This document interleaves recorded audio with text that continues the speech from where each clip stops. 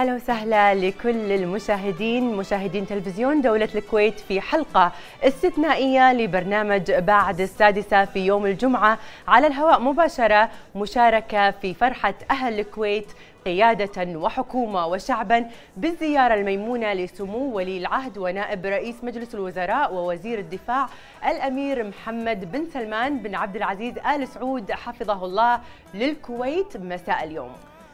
يا هلا بكل المشاهدين لبرنامج بعد السادسة وحديثي يبدأ بشعار تلفزيون الكويت بهذه الزيارة ونقول الله حيه نورت الكويت وازدانت كويتنا بقدومك. فعلا وليس قولا مدرجا نورت دارك والساعة المباركة في زيارة أبهجت القلوب أهل الكويت كامل الكويت فرحانة اليوم بوجودك بيننا. في بلدك أكيد الكويت وحللت أهلا ووطأت سهلا طبتم وطاب مقامكم. فعلا زميلتي نورة والزيارات المتبادلة بين المملكة العربية السعودية ودولة الكويت في ظل القيادة الحكيمة لصاحب السمو أمير البلاد.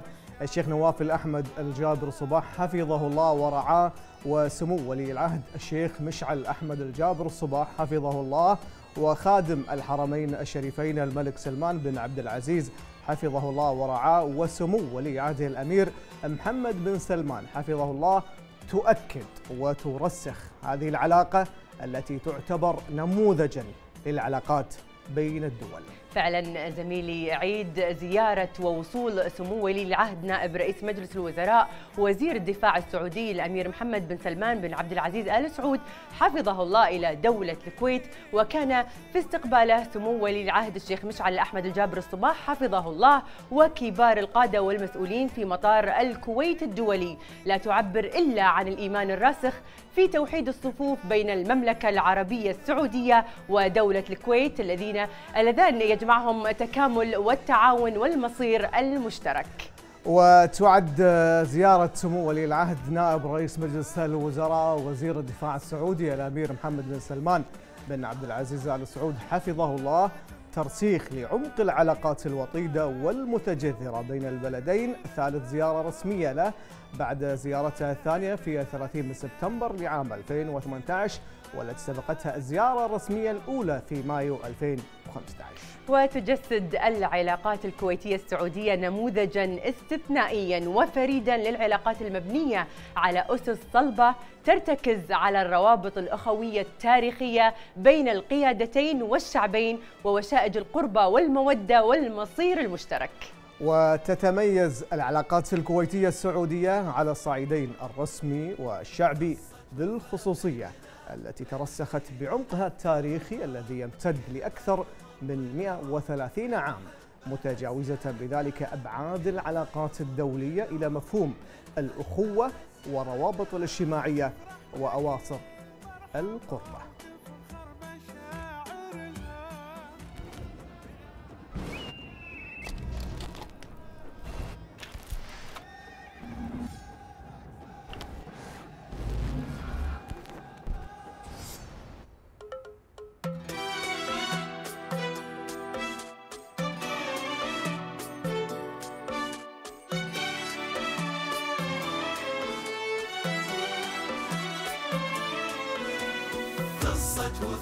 وفا بيننا للحين نذكرها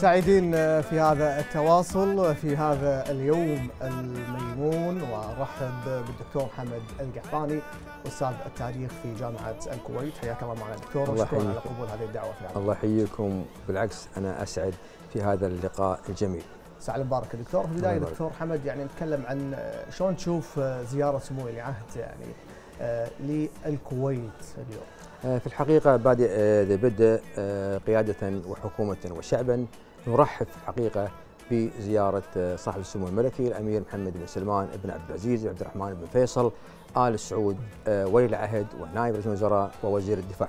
في الحقيقة هذه الزيارة وكما معروف أنها سوف تحقق كثير من هذه من الأهداف ما- للقيادتين والحكومتين وكذلك للشعوب. وهذه الزيارة في الحقيقة هي ليست الزيارة الأولى بل سبقها هناك صحيح. زيارة 2018 وكل وكما معروف الحقيقة أن كل هذه آه، الزيارات التي آه، يقوم بها القيادات تحقق أهداف كثيرة لأن هناك لابد أن يكون هناك في مشاورات هناك في أمور كثيرة. وخاصة أن هذه الزيارة هي زيارة شاملة لدول مجلس التعاون. بداها سمو الأمير محمد بن سلمان آه، بن آه، عبد العزيز آه، بن عبد الرحمن بن فيصل آل تركي بن سعود من سلطنة عمان إلى ختاما إلى المملكة إلى دولة الكويت في هذا المساء الجميل وهذه الليلة المباركة.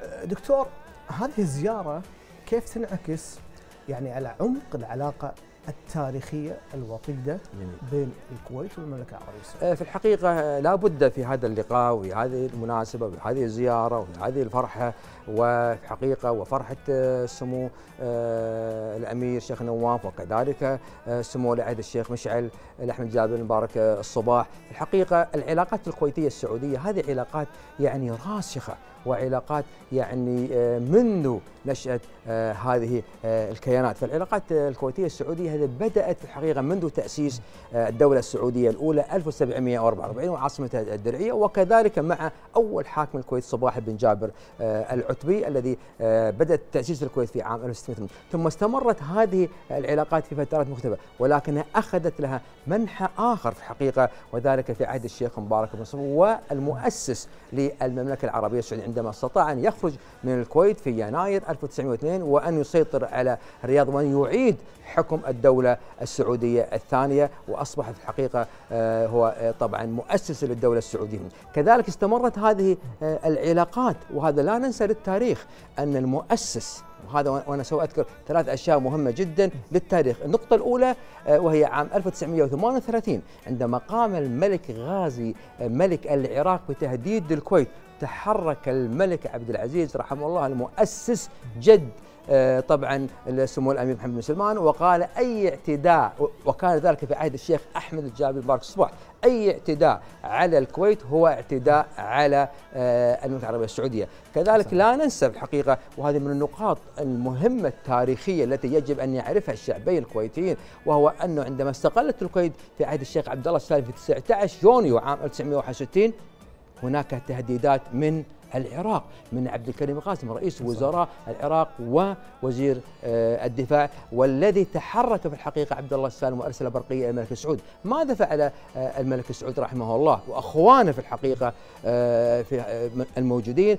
اجتمع مجلس الوزراء السعودي مرتين متتالية ول- وهذا لأول مرة تحدث في مجلس الوزراء السعودي أن يجتمع في يوم 26 و27 وعلى طول أرسل قوات إلى دولة الكويت لحماية الكويت من التهديدات العراقية وفعلا وصلت هذه القوات في 28 يونيو 1921 وللتاريخ أنها وصلت القوات السعودية قبل وصول القوات البريطانية التي وصلت في 1 أكتوبر. كذلك لا ننسى بل بل أن عندما صار هناك اعتراض على دخول الكويت في الجامعة العربية آه، في آه، آه، في يوليو دخلت السعودية وأدت الحقيقة هذا إلى دخول الكويت الجامعة العربية في 20 يوليو عام 1920 وهناك مواقف أخرى سوف نذكرها إن شاء الله بعد بإذن قليل.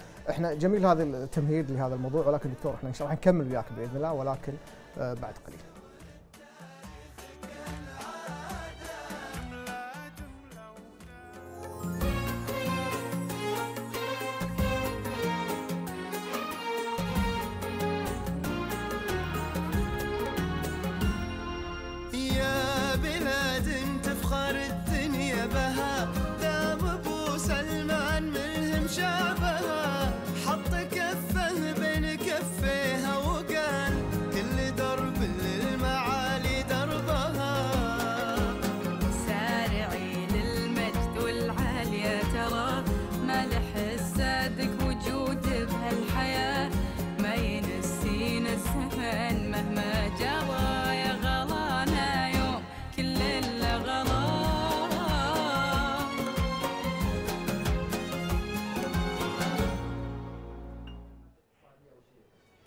نكررها دائما وابدا. نورت الدار في بلدك الثاني وهذه الساعة المباركة زيارة سمو ولي العهد نائب رئيس مجلس الوزراء ووزير الدفاع السعودي الأمير محمد بن سلمان بن عبد العزيز آل سعود حفظه الله والوفد المرافق له. هذا طبعا انعكاس واقعي ونموذج مشرف في مسيرة وعلاقات تاريخية تجعلنا فخورين آه، ككويتيين وأيضا سعوديين. وهذه الزيارة الميمونة انعكاس في توحيد المواقف وتقاربها وهو ما يصب في مصالح البلدين ودول الخليج عامة. وهذا الاستثمار المتبادل بين البلدين وزيادة التبادل التجاري. خلونا نشوف آه، هذه الترتيبات في غرفة التجارة الكويتية بملتقى أصحاب الأعمال الكويتي والسعودي.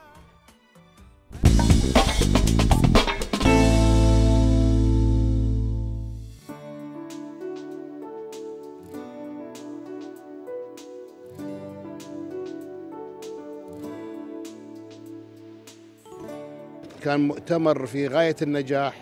البرزنتيشن التقديم من جانب الكويتي كان جيد من جانب السعودي كان كذلك جيد وممتاز.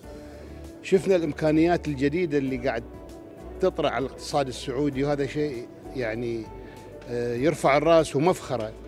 إن شاء الله آه، يوفق كل دول الخليج وتحت رعاية آه، أمرائهم وملوكهم ورؤسائهم.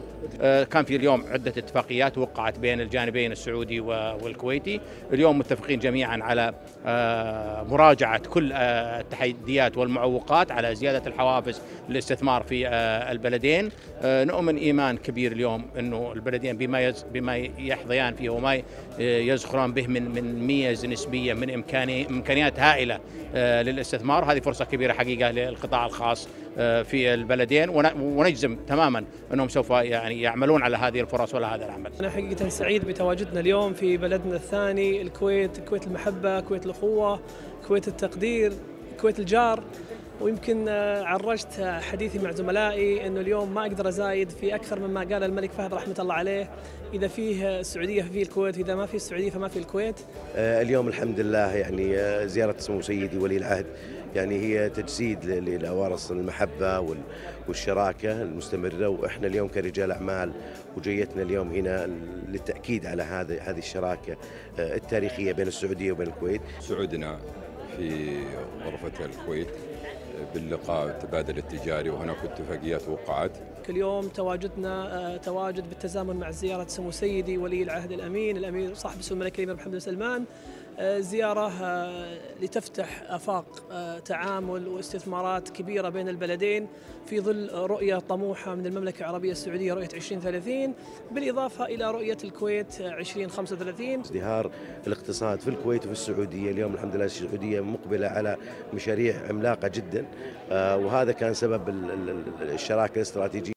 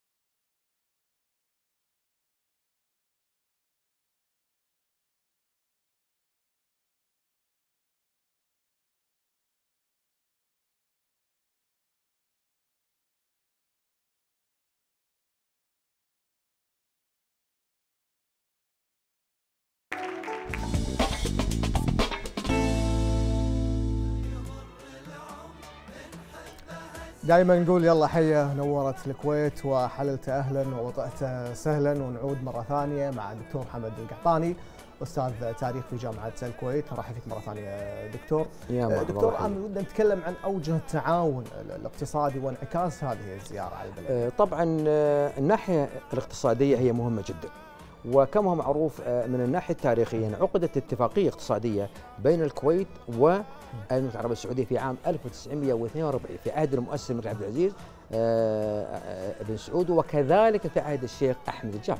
عقدت في جدة وهذا التبادل التجاري. ثم بعد ذلك بدا هناك تعاون اقتصادي بتأسيس كل من منظمة أوبك ومنظمه أو- أوابك آه، والتعاون في المجال الاقتصادي النفطي في الإنتاج والتصدير. وكما معروف أن الكويت والمملكه العربيه السعودية هي من الدول المنتجة للنفط في آه، العالم ولهذا دائما دول العالم تنظر إلى كل من الكويت السعودية في منظمة أوبك أو في منظمة أوابك، ثم بعد ذلك أخذ هناك يتطور في الحقيقة العملية آه، التجارية آه، بين كل من الكويت والمملكه السعودية وتمثل ذلك في الحقيقة في عقد كثير من.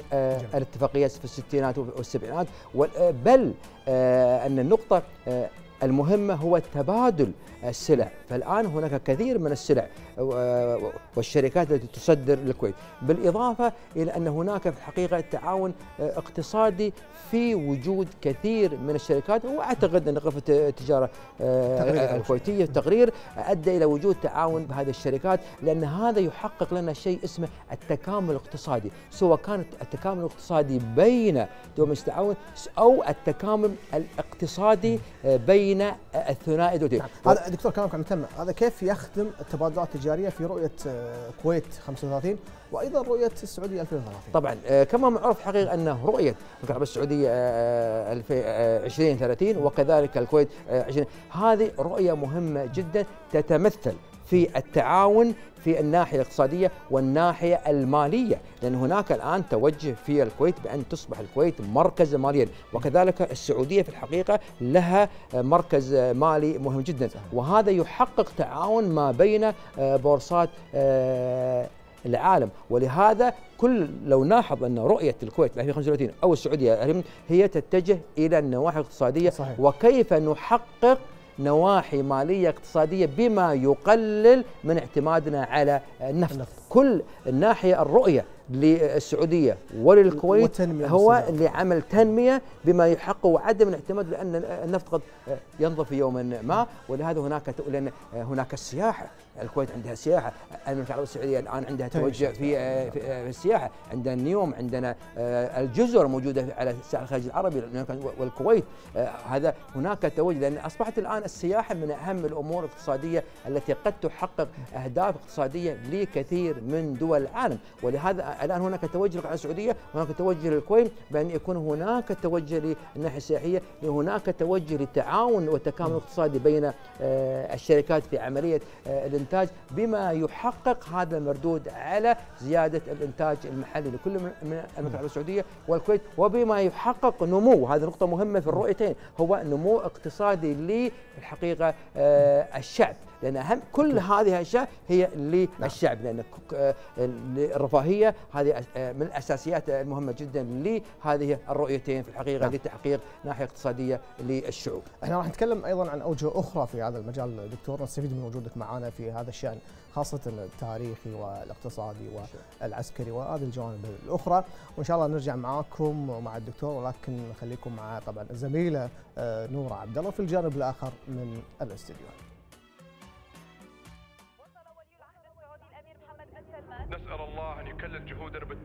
لتحقيق طلعات ملك عظيم. لشعب عظيم. يسكن وطنا عظيما اسمه المملكة العربية السعودية. هذه حربي اللي أخوها شخصيا. ولا أريد أن أفارق الحياة إلا وأرى الشرق الأوسط في مقدمة مصاف العالم. وأعتقد أن هذا الهدف سوف يتحقق 100% يا نعيش سوا يا ننعيش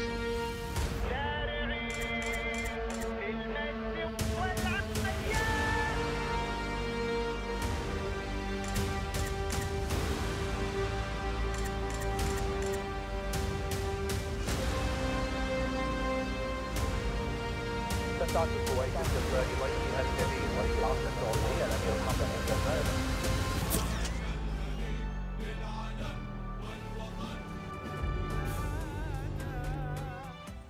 ما زلنا معكم في الحلقة الاستثنائية من برنامج بعد السادسة. وكنا آه، قبل قليل مع الحوار الراقي مع الزميل عيد الرشيدي والدكتور حمد القحطاني في الجانب الآخر من الاستديو يعزز مفهوم مركزية العلاقات السعودية الكويتية الراسخة في أواصر القربة والأخوة والتاريخ العريق والحاضر المزدهر والمصير المشترك. وإن المملكة هي العمق الاستراتيجي لدولة الكويت وإن الكويت الامتداد الاستراتيجي والحضاري للمملكة. وهذا هو الواقع عمليا وممتد منذ العلاقة بين البلدين تاريخيا. الشارع الكويتي عبر عن فرحته بطريقة عفوية وصادقة ونابعة من القلب. آه، مثل ما قلنا لو قلنا المملكة العربية السعودية فنحن نعكس آه، أنف- أنفسنا آه، يعني فعلا مرآة للمملكة العربية السعودية الكويت. وأيضا هذا بشكل عكسي متبادل بين البلدين. إخوان وأحبة وأهل تجمعنا فيهم قواسم مشتركة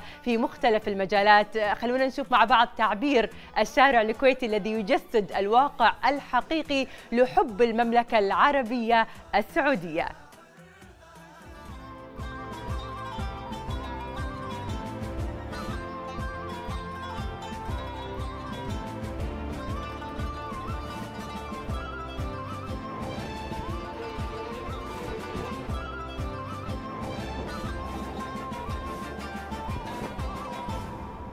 لأن السعوديين محبتهم في قلوبنا استثنائية فحبينا اليوم تغييرنا يكون استثنائي وكلام طالع من قلب أهل الكويت لأهل السعودية. أحب أقول له الله يحييك في بيتك الثاني.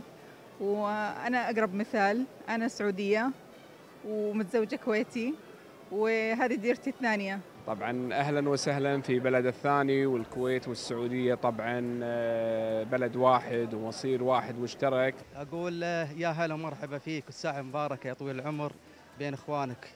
أهل الكويت كلهم يرحبون فيك. من تجي لين تروح؟ نقول له والنعم فيك وحياك الله والديره ديرتك وأهلك. حنا أهلك وأنت من أهلنا. حللت أهلا ووطأت سهلا. يا صاحب السمو الامير محمد بن سلمان الله يحفظه. بين أهله وناسه. والعلاقات السعودية الكويتية لا شك ما ما نقدر نتحدث عنها. بلدين بقلب واحد. يا بلاد تفخر الدنيا بها. دام أبو سلمان ملهم شعبها حط كفه بين كفيها وقال كل درب للمعالي دربها. طبعا إخواننا هم السعوديين أهلنا وإخواننا. نحب بعض من يومنا. يعني ما ما في شيء جديد. والله يبعد أي حاسد وأي آه، كيد. يا رب إن شاء الله عننا. شعب واحد ما يحتاج. كل الخليج شعب واحد. كلنا نحب بعض. ما نفرق بين بعض. كلنا خليجنا واحد. مثل من أول إحنا نقول خليجنا واحد. و- وطول عمرنا السعودية والكويت واحد. قلب واحد ومكان واحد وديرة واحدة. وعسى الله لا يفرقنا إن شاء الله. ودائما أمانة ما نشعر بأي غربة عندما نتواصل معاهم عندما نزورهم عندما يزوروننا. سمعتوا كلام الكويتيين والخليجيين اللي طالع من القلب وإحنا بدورنا؟ فريق بعد السادسة نقول ولي العهد السعودي الأمير محمد بن سلمان حياك الله بديرتك الثانية الكويت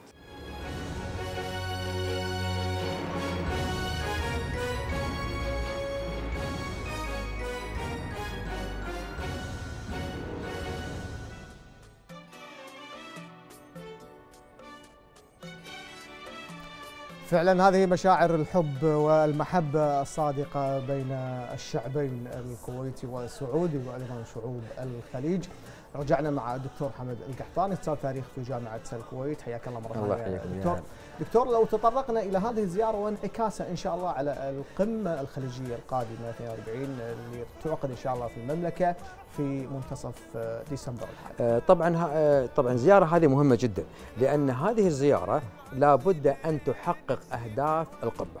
وكما هو معروف أن القمة لها أهداف سياسية واقتصادية وكذلك اجتماعية. وخاصة آه، أن آه، سمو الأمير آه، سمو الأمير محمد بن سلمان آه، قام بزيارة من آه، سلطنه عمان حتى الكويت حتى يكون هناك رؤية واحدة لكثير من آه، القضايا التي تحيط في دول المجلس التعاون ومن هذه القضايا في الحقيقة والتي في الحقيقة يجب أن تنتهي ويجب أن تنتصر إن شاء الله آه، السعودية عليه هو طبعا التهديدات آه، يعني الحوثية والتدخلات لبعض الدول في هذا ولهذا الكويت في الحقيقة دائما كانت تساند السعودية وهناك قوات عسكرية سعودية موجودة في الحد الجنوبي. كذلك لابد من هذه الزيارة تحقق في الحقيقة التعاون الاقتصادي في هذه القمة. لأن وخاصة في الاضطرابات المالية والاضطرابات المتعلقة آه، في أسعار البترول وخاصة في هذه آه، الأيام والتحركات العالمية، كذلك أن هذه آه، القمة إن شاء الله التي سوف تعقد في المملكة العربية السعودية قريبا سوف تحقق في الحقيقة لآمال الشعوب وكذلك تحقق أهداف كثيرة اقتصادية ومنها الاتحاد الجمركي ومنها التعاون بين الدول في المجالات ال- يعني العلمية. فهذه الزيارة في الحقيقة هي زيارة شاملة جامعة لسمو الأمير محمد بن سلمان لأنها آه، هذه الزيارات حتى يكون هناك قمة يكون هناك اتفاق على الآراء ويو- لأن مجلس التعاون في الحقيقة منذ تأسيسه وبدايته في أبو ظبي في أول اجتماع في عام 1981 كان يهدف إلى وجود رؤية واحدة صحيح. لدول مجلس التعاون الست سواء كان سياسيا أو اقتصاديا أو اجتماعيا وهذا ما آه، استمر عليه الحقيقة من 81 نعم. حتى الآن بارك الله فيك دكتور وشكرا لك على وجودك معنا في هذا البرنامج. كل الشكر والتقدير للدكتور حمد القحطاني في هذا الحوار الخاص لهذه الزيارة المم- الميمونة لسمو ولي العهد نائب رئيس مجلس الوزراء وزير الدفاع السعودي الأمير محمد بن سلمان بن عبد العزيز آل سعود حفظه الله. وبهذا نكون قد وصلنا معكم إلى ختام هذه الحلقة. ودائما نقول في الختام يلا حيه ونورت الكويت. وأيضا أحب أقول في هذه الزيارة الميمونة الغالية على قلوبنا جميعا لسمو ولي العهد نائب رئيس مجلس الوزراء ووزير الدفاع السعودي الأمير محمد بن سلمان بن عبد العزيز آل سعود حفظه الله. العين لك قبل الدار ونور ديرتك وبلدك الثاني الكويت.